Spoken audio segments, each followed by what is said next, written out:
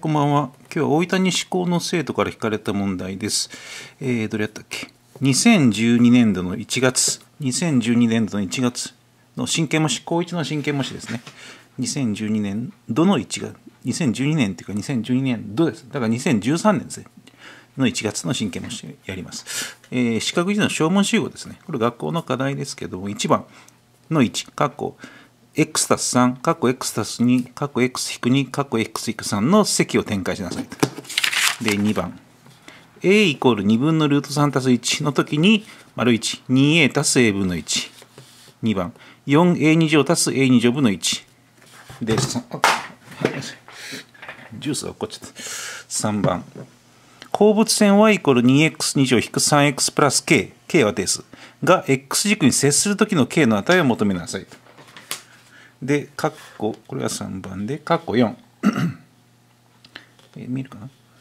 えっ、ー、と、次の「お」に当てはまるものを下の丸丸 0, 0から3のうちから1つ選べと。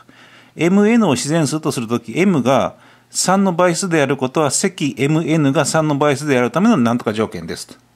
はい、じゃあやってみましょう。えっ、ー、とね、1番、2番はさっき私、生徒に説明したんで、ちょっとホワイトボード使いますね。ちょっとホワイトボードに書いたんで。っと待ってください。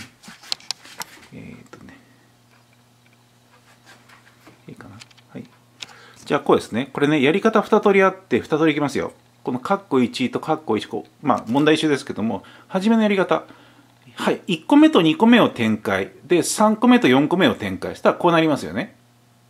ということは、えっ、ー、と、x2 乗プラス 5x x プラス6、その、その 5x の前がプラスかマイナスかの違いだけだから、両方とも x2 乗プラス6まで一緒。じゃあ、左は中括弧、括弧 x2 乗足す6足す 5x ね。で、右側の方は中括弧、括弧 x2 乗足す6引く 5x。じゃあ、和と3積に持ってきて、x2 乗足す6の2乗引く 5x の2乗と。いうことで展開するとこうなります。x4 乗引く 13x2 乗足す36。で、やるか、もしくは、えっ、ー、と、赤のように、赤の2番目と3番目をかけて、で、1番目と4番目をかけるとこうなりますよね。わーとさーの積で。で、それで展開してくれてもいいと。まあ、こっちの方が早かったかな。まあ、どっちでもまあ自分がやりやすい方でね、やってください。回答は一緒です、当然。やり方が違うだけで、順番が違うだけで。次、カッコ2番。ちょっと待ってね。カッコ2番は、えー、っと、A が2分の3ルート3たす1。じゃあこれ、分数取りましょうか。両辺2倍して。えっ、ー、と、2a イコールルート3たす1。ということで、えっ、ー、と、a はまず、あ、a, a はいいか。で、まず次、次3行目ね。a 分の1っていうのは、ルート3たす1分の2ですね。つまり、1行目の a イコールの2分のルート3たす1と逆数だから、ルート3たす1分の2と。じゃあ、上と下に分母と分子にルート3引く1をかけたら、ルート3引く1になります。つまり、a 分の1がルート3引く1。じゃあもう一回言うと、2a がルート3たす1、えっ、ー、と、a 分の1がルート3引く1。じゃあこれでもう丸1出ましたね。丸1の回答は今の、今のこの値を使って、2ルート3。2ルート3。で、2番は、実はね、これの2乗、2a たす a 分の1、つまり丸1の回答ね。これの2乗から4を引いてますよね。なんでかっていうと、ちょっと見てくださいね。こえっと、これの2乗をしたらこうですね。プラス、で、これの2乗したらこうですね。ただし、カッコの2乗は2倍のこれかけこれがいるから、2倍のこれかけこれって4になりますよね。A と A、これ、うち、約分して。だから4引いとかないといけない。ということは1番の回答のの2乗して引く4。答え8です。で、3番は、これやり方2通りやります。まず1個目。平方完成して頂点出す。頂点がこれで4分の3マイナス8分の9足す k になりますね。で、y、頂点の y 座標だけ必要。頂点の y 座標のマイナス8分の9足す k が0になればいいんですね。x 軸に接するってことは。ということで k は8分の9とやるか、えっ、ー、と、これ、もう一個別のやり方。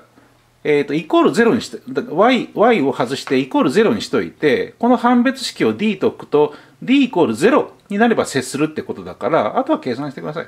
判別式のやり方で。じゃあ答えは8分の9。どっちでやってもいいです。どっちでやってもね。いいかな？このカッコ3まで。で続いてカッコ4なんですけども、ちょっとうちの教室をぐるっと回って。カッコ4。じゃ元戻りますよ。これ。えっ、と、次の、あ、ごめん、問題いいね。ということは、命題が2つあると。こうね。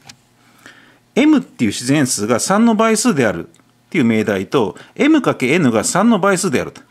左から右は言えますよね。だって m が3の倍数だったら、n が自然数なんだから絶対 m×n は3の倍数だよね。3×5 とか 3×7 とかね。全部3の倍数。ただし、右側。m×n が3の倍数だったら、絶対 m が3の倍数かってそうじゃないですね。判例として、m が5、n が6でも30、つまり3の倍数なんだけども、m は3の倍数じゃないですね。5, 5やから。